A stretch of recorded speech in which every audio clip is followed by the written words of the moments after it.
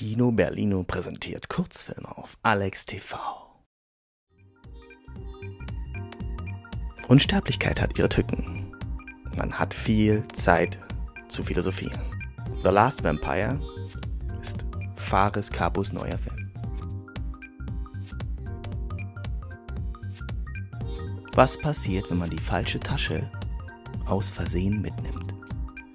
The Switch von Tal und Talia klärt uns darüber auf.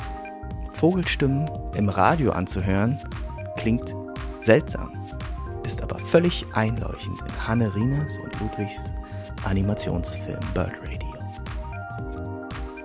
Was verrottet da? Ist es ein Apfel? Pavlo Wojtowicz zeigt uns genaueres. Shutter sperrt einen einzelnen Mann in seinem Raum ein mit seiner eigenen Kamera. Das Künstlerkollektiv Eibel Neil Treutler machte diesen Film in Graz.